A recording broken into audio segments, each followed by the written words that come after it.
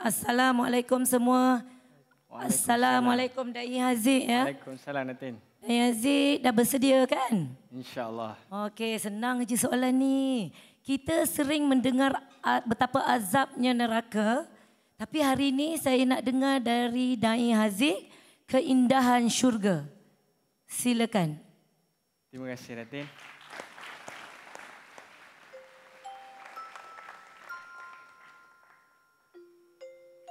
Kakak, Ya, Papa. kakak ada nak tanya satu ke kat Papa? Nak? Ha, kakak nak tanya apa? Nak tanya pasal syurga ke? Nak? Ha, apa? Syurga tu tempat yang paling indah. Paling cantik. Tahu? Tahu? Ah, tahu dah.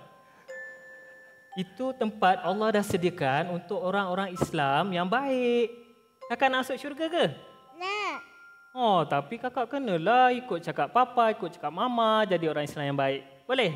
Boleh? Sayang kakak. Sayang, Papa.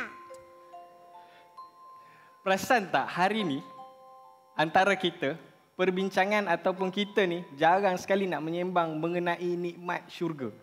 Sedangkan kalau saya tanya dalam ni, ada tak orang yang tak nak masuk syurga? Memang tak ada. Tapi macam mana kita nak masuk kalau macam mana kita nak jadikan syurga tujuan kalau kita, kita sendiri pun tak tahu dalam syurga tu ada apa? Saya akui, saya sendiri pun bila dapat tajuk ni, saya cek-cek balik, saya buat kajian balik. Baru saya rasa macam, ish, besar sungguh nikmat syurga yang Allah Ta'ala nak bagi pada hamba dia ni. Cuba bayang tengok. Orang terakhir masuk syurga, sepuluh kali ganda langit dan bumi. Untuk dia seorang, bukan kongsi dua tiga orang, dia seorang. Malahan sidang hadirin, dalam satu hadis, hadis hilang. Hadis daripada Suhaib, riwayat Muslim. Hadis Qudsi. Kata Nabi, "Idza dakhala ahlul jannatil jannah." Apabila ahli syurga masuk ke dalam syurga, Allah Subhanahu wa taala bertanya, "Turiduna syai'an azidukum?" Mafhumnya, "Ha nak apa-apa lagi tak daripada aku?" Kemudian ahli syurga menjawab, "Alam tubayyid wujuhana wa tudkhilnal jannah wa tunajjina minan nar." Bukankah engkau telah memutihkan wajah kami, wajah kami dan memasukkan kami ke dalam syurga dan menyelamatkan kami daripada azab api neraka? Cuba kita bayang satu kehidupan yang mana kita mohon sa- sampai kita sekarang ni kita banyak mohon pada Allah.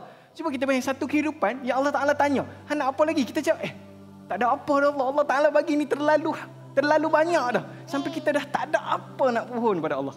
Itulah syurga tuan-tuan. Malahan dalam hadis yang sama, nikmat yang paling tinggi kata Nabi, "Fama utu syai'an haba ilaihim minan nazari ila rabbihim azza wajalla." maka tidak ada nikmat yang lebih disukai oleh ahli syurga melainkan ketika melihatnya Allah Subhanahu wa taala. Berkenaan rahmat Allah, suka untuk saya kongsikan kajian Noman Ali Khan, seorang ahli tafsir moden. Yang mana Noman Ali Khan membuat perbandingan antara pintu syurga dan pintu neraka berdasarkan surah Sad ayat yang ke-50 dan surah Az-Zumar ayat yang ke-71. Ah tuan-tuan boleh baca dekat sinilah.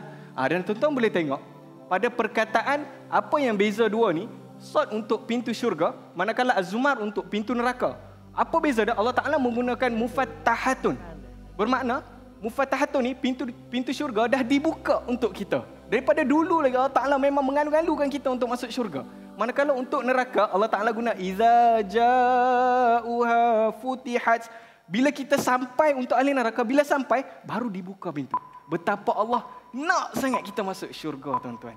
Jadi tuan-tuan, dikala kita merasa nikmat syurga ni terlalu besar, maka segala keperitan di dunia akan terasa sangat kecil. Kakak, Papa nak ajar satu doa untuk kita masuk syurga nak? Nak? Okey, angkat tangan. Ya Allah, Ya Allah, masukkanlah aku masukkanlah aku ke dalam dalam syurga. syurga. Amin. Amin. Sekian saya Da'i Haziq ku sentuh hatimu dengan dakwahku. InsyaAllah. Itu dia penyampai dai penyampaian dai Haziq secara santai. Alhamdulillah bercerita tentang syurga, betapa indahnya syurga. Kita doa sama-sama. Sayang kat sini sayang. Ha, sini sayang. Sayang duduk dengan uncle kat sini ya. Ngatuk-ngatuk. Okey, silakan Ustaz Zarifi komen. Eh sorry, kita bersama dengan Datin dulu komen. Silakan. Okay. Indahnya syurga kan? Weh, terpegun saya dengar tadi kan. Sayang papa katanya kan. Tapi uh, Dani Haziq, tak mustahil anda beri performance yang cukup baik pada kali ini dan anda memang tidak pernah mengecewakan daripada hari pertama dan juga hingga hari ini saya tengok memang bagus. Ah. Lepas tu Dani Haziq memang uh, bak kata Datuk Rosham tadi dia begitu spontan, begitu uh, santai, tidak nervous, tidak masuk kalut ke apa semua kan. Itu bagus untuk menjadi pendakwah. Saya memang suka tengok elemen-elemen ni you ada pada diri Dai Haziq dan juga uh, Dai Haziq saya percaya anda tentu buat terbaik pada kali ini sebab ibu dan ayah baru sekejap aja bagi kata-kata semangat kan. Dai Haziq saya nak tanya satu je. Nak tak dua tiket ju, uh, uh, dua tiket umrah saya nak bagi. Ya Allah takkan tak nak. Ah, buat betul-betul, berusaha terus, terus kekal dengan performance yang cukup baik dan tinggikan lagi kualiti anda. Saya jumpa anda di final nanti. Okey, terima kasih. Tahniah. Datin. Kan yang sebelah aja, sini tak nak offer ke? Kita pun nak pergi umrah juga. Okey, Ustaz Zarifi, silakan. Assalamualaikum warahmatullahi Da'i Haziq.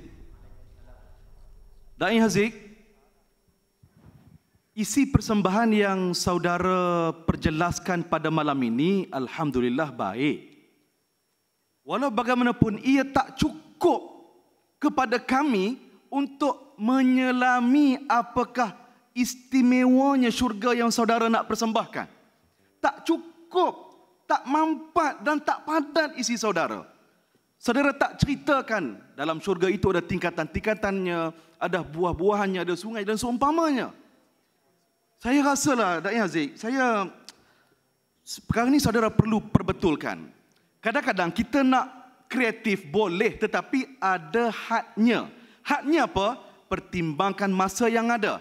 Saya rasa lebih berkesan kalau saudara pegang tangan adik adik yang di depan kita ini dan sambil bercerita itu lebih menjimatkan masa dan saudara boleh tumpukan kepada aspek yang lebih penting Haziq. Sayang Haziq, sayang. Sayang.